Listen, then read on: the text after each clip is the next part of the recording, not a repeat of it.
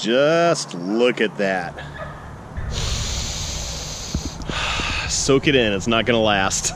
What's up everyone, Scott the TroutHammer here. It is officially fall. I mean, it is like a hard fall. It's like thud fall. Yeah, we went from summer to almost winter pretty much overnight in the start of September. If you guys watched the live stream I did a couple days ago, I kind of talked about how the weather, we hit the seasonal cliff. That's something I talk about every year, where pond fishing, bass fishing, pan fishing, a lot of that stuff just, it doesn't, it doesn't become worth the effort anymore. It's better to just go out and do some like sturgeon fishing, salmon fishing, steelhead fishing, some of the stuff that you're gonna find in the winter, typically anyway. But as you can see from that, and some 70 degree weather, we got a last chance to get in on some bass. So that's what I'm doing today. I'm pretty much going from river to pond, starting out with smallmouth bass, and then I'm gonna go to a pond later with my buddy Christian and do some bass fishing. This might be my last bass trip I get in this year. Well, dedicated bass trip where I'm pretty positive I'm gonna catch fish. I'm still gonna do some winter bass fishing, but I mean, fall feed, no joke, fall feed is the best time to fish for bass, especially here in Oregon, especially in the Mid Valley. So we're gonna get to catching, but before we do, if you haven't already, please hit the subscribe button down there and the notify bell next to it so you're gonna be first to see all the great content that's gonna come from this channel. Speaking of which, I gotta give a big thank you to each and every name scrolling up to my right here. These are my shout outs for everyone that subscribed to the channel during the week. Thank you guys so much for your guys' support, helping this channel grow to the point it has and continuing to help it grow. If you guys want your name on this list, you guys know what button to press. So as I kind of explained already, we've had almost winter-like weather. It's been down to the 60s for highs, and some days it hasn't even gotten above 50, and it's just been wet and miserable. Winter-like weather here in Oregon. Well, early winter. The benefit that does is all that rain, all that temperature, it just shock drops the water temperature and also the help with the uh, barometric pressure being lower. Fish get a lot more active. That's why they call it the fall feed. They're just out hitting everything that comes by them. They're in a mode of feed, feed, feed, eat any, eat anything they see. You can throw the kitchen sink at bass this time of year and they'll eat it. And I don't know about you, but I want to get into it before it's too late. Saw me. There you go, guys. That's a fish. There you go, guys. That's unreal! Oh, this is such an awesome looking fish. Oh, yeah! All right, guys, check that out.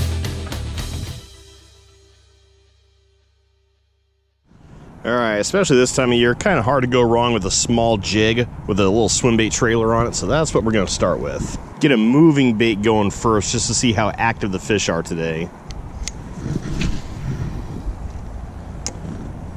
So we are pretty much following the same cadence as always. We pick one side and we sort of fan cast over to the other direction and only fishing like what's right in front of you and then go a little bit further out the second time through, a little bit further out the second the third time through and then as far as you can fourth time through.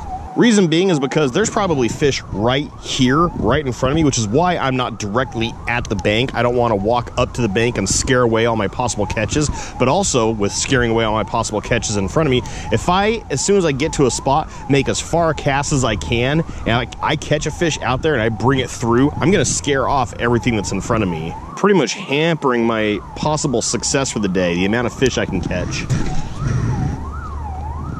I'll tell you what, guys, the way things have gone this year, I've never looked forward to a winter fishing season so much in my life. Not just for salmon, steelhead, but also bass fishing, sturgeon fishing. I'm just more confident and I feel more prepared and more excited going into this winter fishing season. Well, hello.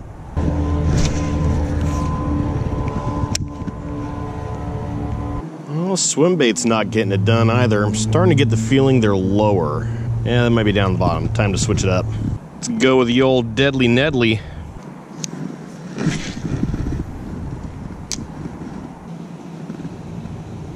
Oh, just got bit. Felt really small though. If a Ned rig can't get it done over here for smallmouth, I don't know what will. And it's about time to head to the pond anyway. First time fishing this lure. What is it? It is the uh, Strike King soft body jerk bait, like a fluke. Water's a lot clearer than the last time we were here. It is, yeah. It seems like a rock. This thing doesn't. I'm already gonna switch to a switch back to a Senko. Yeah, this thing doesn't have enough weight to it right now. Yeah, I think I might Senko it up too. There's a fish. Not very big, but it is a bass. Ah. Oh, I got to get this in before the season fully changes over. No, he's a good fish. Yeah, this is also my first bass in months, so I got to sniff this one. Ooh. I actually didn't even feel the strike on that one. It just loaded up. Like he set the hook on himself. Oh. Ooh, I'm sinking. Oh, something just moved out there. I'm gonna try frog after this cast. I just saw something move out under that muck.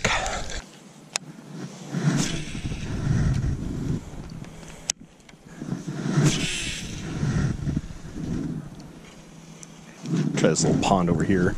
There's gotta be something in that. It looks so bassy.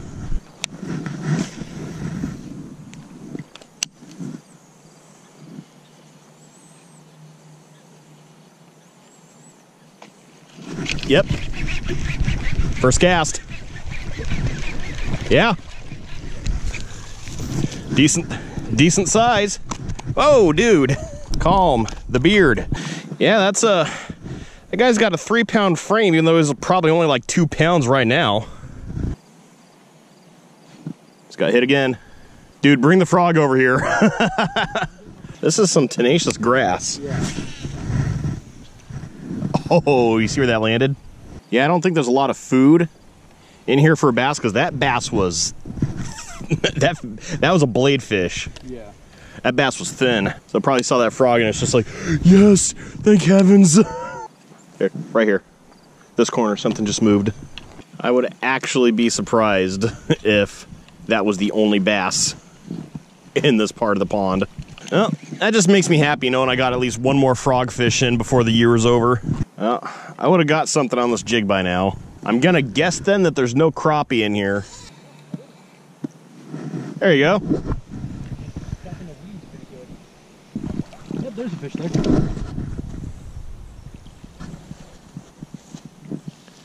There you go. Like just barely over a pound. Yeah, probably. It's nice to catch a fish, though. It's been a little while. Yeah. Sniff it. I'm not sniffing the fish. Do it. You're not sniffing the fish. Do it. Mm, no. You know why I don't trust the moon phase? Like, I mean, I look at I look at the app to get an idea because they put a lot of research into it. But do you know why I don't trust the moon phase? Guess what today's rating was? Nothing. Four.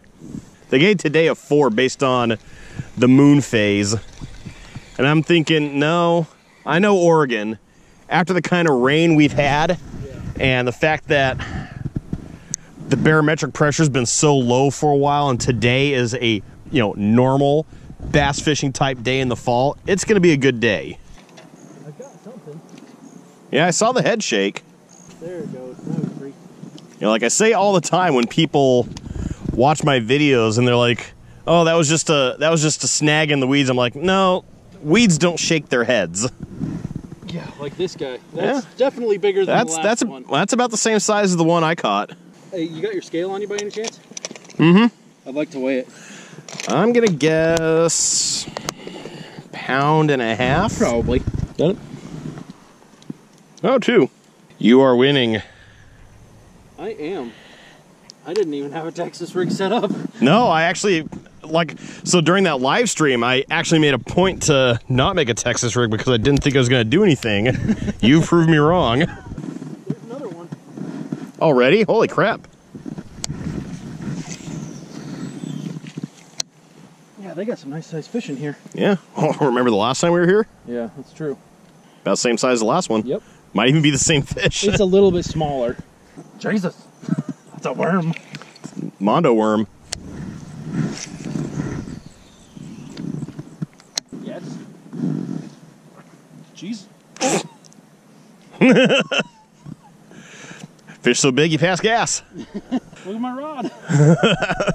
On this little baby brush hog. Well, you're definitely making up for last time we fished here. Yeah. Fishy, fishy. Yes. Hello, fishy, fishy. That's a little bigger. Yep. catching some pretty good sized fish. Each one of them probably been what a pound and a half. Uh, yeah, I mean, average. Yeah. And as we usually do when it comes to bass fishing here in Oregon, we fish in a sunset. It's just sunset comes a lot earlier this time of year. That is my least favorite thing about fall. Favorite thing being the fishing. I mean, this is the best time of year to fish, period, for anything, everything. And so concludes our first, hopefully our not last edition of Oregon Fall Bass Fishing. Uh, we, we need to end this fall fishing day right. With some fall beer. Yes, a pumpkin beer.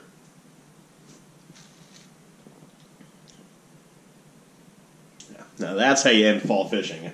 So yeah, nothing happened on the river. I really want to get another smallmouth before the year's over, and that's not the last time I'm going to go smallmouth fishing. That was just the best opportunity I've had to go smallmouth fishing here in the last couple of weeks. The pond fishing was awesome though, and I'm actually really happy to have been there for Christian to get the best bass day he's ever had, catch a new personal best, catch the most bass he's ever caught in one trip at least good sized bass. That was a complete contrast from the last time him and I fished that pond. That pond's always been productive, but the last time we fished that pond, I had like, you know, I had a bag that would have won a tournament, and he didn't catch a single fish. So, you know, now, now, like this year, he won the day. Last year, I won the day. Next year, we got to have that rubber match. But let me know what you guys thought down in the comments below. Again, if you haven't already, go ahead hit that subscribe button down there and the notify bell next to it so you're going to be the first to see all the great content that's going to come from this channel. Other than that, thank you guys so much for watching, and as always, tips up, tight lines, and have fun fishing.